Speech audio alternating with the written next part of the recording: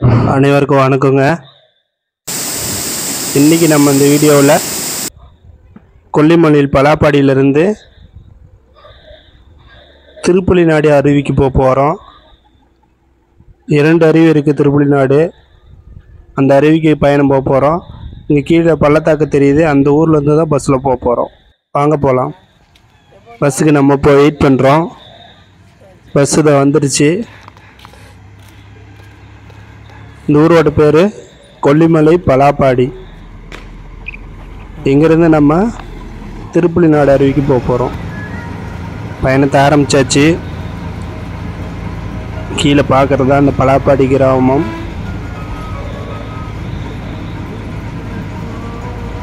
நம்ம தோரப்பள்ளம் அப்படின்ற இடத்துக்கு போயிட்டு அங்கேருந்து நம்ம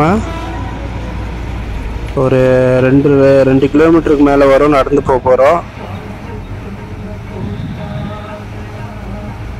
மலை பிரதேசத்தில் ஒரு அற்புதமான காட்சி இதாக போயிட்டுருக்கோம்.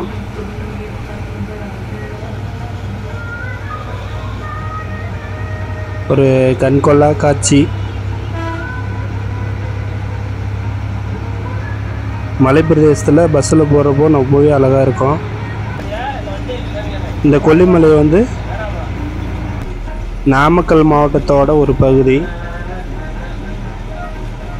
நிறைய சின்ன சின்ன ஊர்கள் பதினான்கு கிராம பஞ்சாயத்தை கொண்டது இந்த கொல்லிமலை.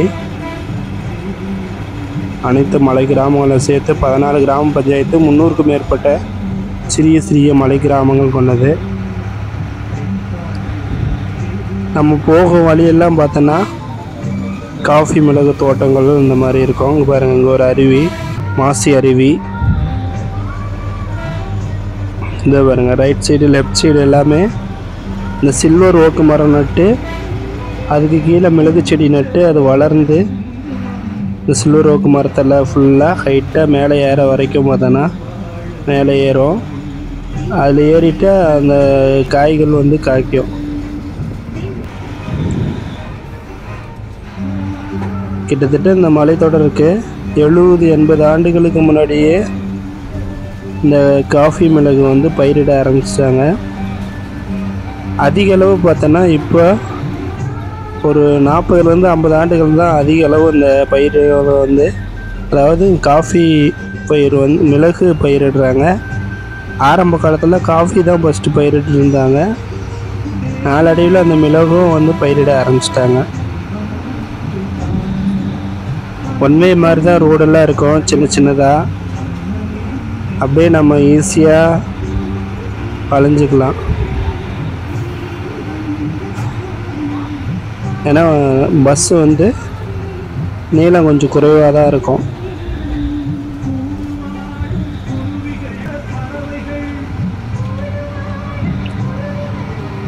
இந்த இடத்துல இருந்து இந்த பள்ளத்தாக்கு பார்க்க போகிறோம் மூன்று பக்கம் மலைத்தொடர் அங்கே பாருங்கள் அங்கே தூரத்தில் தெரியுது தம்மவட்டி.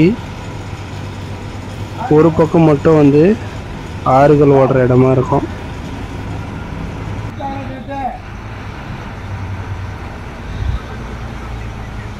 இப்போ நம்ம தேனூர் அப்படின்ற பகுதி கிட்ட வந்தாச்சு.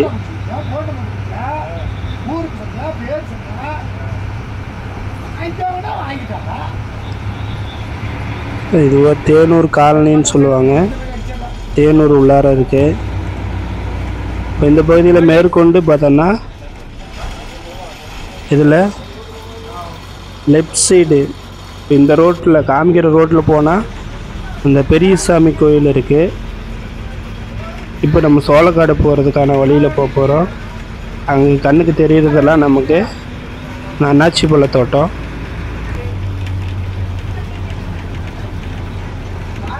ஃபுல்லாக அங்கே பாருங்கள் மலை தொடரும் அழகான மலை கிராமங்களும் நிறைய இருக்கும். கண்டிப்பாக ஒரு முறை வந்து பாருங்கள் அதுவும் பஸ்ஸில் போனீங்கன்னா ரொம்பவே நல்லாயிருக்கும்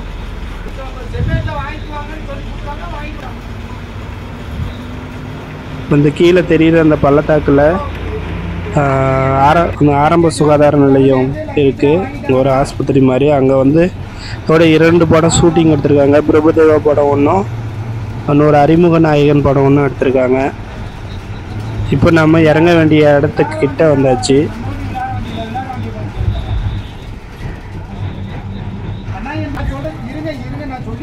இப்போ நம்ம துவரப்பள்ளம் வந்தாச்சு. லெஃப்ட் சைடு உள்ளார போனோம்னா துவரப்பழம் ஸ்ட்ரைட்டாக போனோம்னா சோள குழியளவு சோளக்காடு. இப்போ நாம் ரைட் சைடு போக போகிறோம் இந்த பஸ் ஸ்டாப்புக்கு பேர் சொல்லக்காடு. ரைட் சைடு கீழே போக போகிறோம் ஏன்னா அங்கே தான் திருப்புளி அருவி இருக்குது அந்த அருவிக்கு தான் போக போகிறோம் அற்புதமான காட்சிகள். வாங்க போகலாம் இப்போ பஸ் இறங்கி கிட்டத்தட்ட ஒரு ரெண்டு கிலோமீட்டருக்கு மேலே நடந்து போக வேண்டியது வரும். இதில் ரெண்டு ரோடு பிரியும்.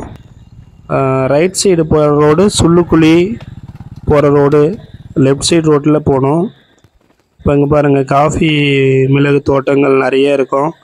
காஃபி உங்களுக்கு காமிக்கிற எப்படி இருக்குது அப்படின்னு. இதை பாருங்கள் இதான் காஃபி காஃபி செடி. அதில் வந்து அந்த காஃபி பழங்கள் இருக்குது. இது வந்து மிளகு. இதை பாருங்கள் கொல்லிமலை மிளகு ரொம்பவே ஃபேமஸ் இது தெரியுது வந்து பைனாப்பிள்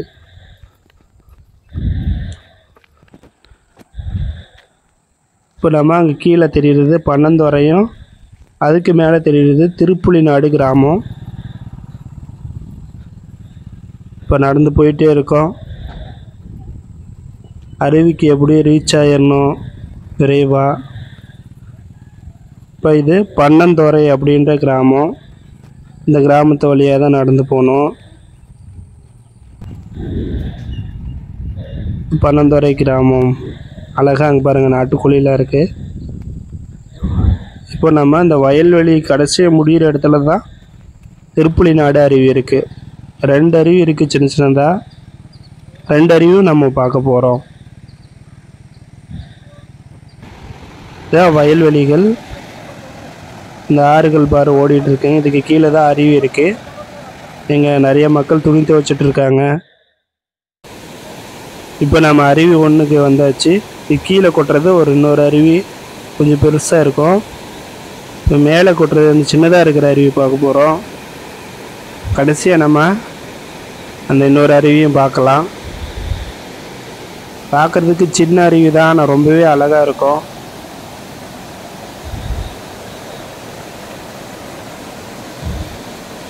இதோ பாருங்க அற்புதமாக கொட்டுது. ஒரு பதினஞ்சு அடி ஹைட்டு தான் இருக்கும். சின்ன அருவி தான். ஒரு அற்புதமான காட்சிகள் தான். வந்தால் ஜாலியாக என்ஜாய் பண்ணலாம் குளிக்கலாம். நம்ம வீடியோ பிடிச்சிருந்ததுன்னா மறக்காமல் நம்ம சேனலை சப்ஸ்கிரைப் பண்ணுங்கள் லைக் பண்ணுங்கள் ஷேர் பண்ணுங்கள் கமெண்ட் பண்ணுங்கள் இன்னொரு அறிவு இருக்குது அதை உங்களுக்கு கண்டிப்பாக காமிக்கிறேன். ஒரு அற்புதமான இருக்கும். ஃபுல்லாக இயற்கை கலந்த நீர். இது திருப்பலிநாடு அருவி ரெண்டு இது. அற்புதமான காட்சி எங்கே பாருங்கள் பார்க்குறதுக்கு செம்மையாக இருக்கும் அப்படியே மறக்காமல் நம்ம சேனலை சப்ஸ்கிரைப் பண்ணுங்கள் லைக் பண்ணுங்கள் ஷேர் பண்ணுங்கள் இந்த அருவி எப்படி இருந்தது? திருப்புலிநாடு அருவி அப்படின்னு கண்டிப்பாக சொல்லுங்கள் இது வந்து ஊர் ஓரத்தில் தான். அதாவது பக்கத்துலேயே வந்து திருப்புலிநாடு கிராமம் இருக்குது திருப்புலி கிராமம். நன்றி. மீண்டும் அடுத்த வீடியோவில் ஒரு நல்ல வீடியோவில் உங்களை நான் சந்திக்க வருகிறேன். அடுத்த வீடியோவில் நம்ம குழிவளவு அப்படின்ற இடத்துல இருந்து நம்ம அருவி அப்படின்ற அருவிக்கு பஸ்ஸில் போக்குவரத்து செய்ய போகிறோம் அதுதான் அந்த வீடியோ. நெக்ஸ்ட் வீடியோவை கண்டிப்பாக பார்த்து ரசிங்க. தேங்க்யூ நன்றி.